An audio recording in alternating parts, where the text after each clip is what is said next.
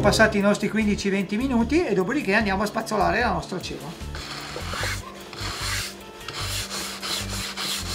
Sempre con una spazzola di nylon. Possiamo fregare su e giù senza problemi. Eh. Qua bisogna togliere tutto quello che è superfluo che esce dalla soletta. Quel che conta è tutto quello che c'è nella suola.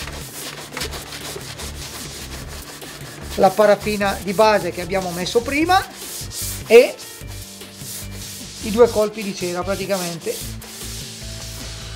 Ah. prendiamo la nostra spazzola incline solo per dare proprio una pulita alle strutture che siano belle aperte. E quando lo sci è a contatto della neve a secondo di quanta acqua c'è nella neve scorra fuori dalla struttura adeguata che abbiamo fatto.